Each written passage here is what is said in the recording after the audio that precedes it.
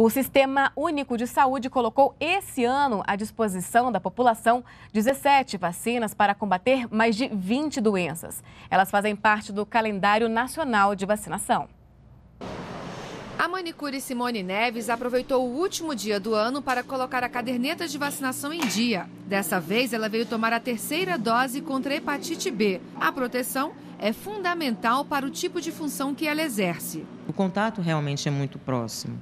Se você não, ter, não tiver essa, essa prevenção, você corre um risco que, de repente, você né, pode levar a outras doenças até mais graves, que às vezes a pessoa não tem nem noção. O calendário nacional de vacinação conta com 17 vacinas para combater mais de 20 doenças.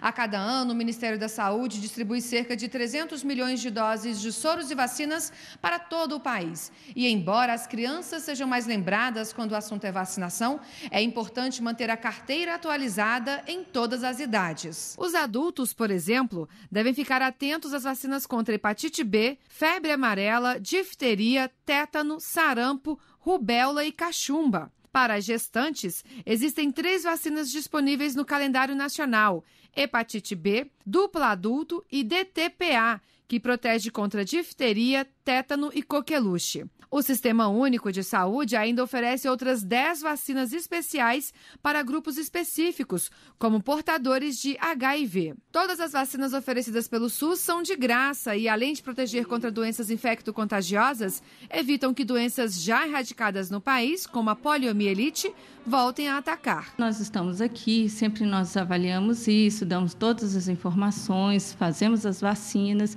É importante que as pessoas procurem esse serviço que é gratuito.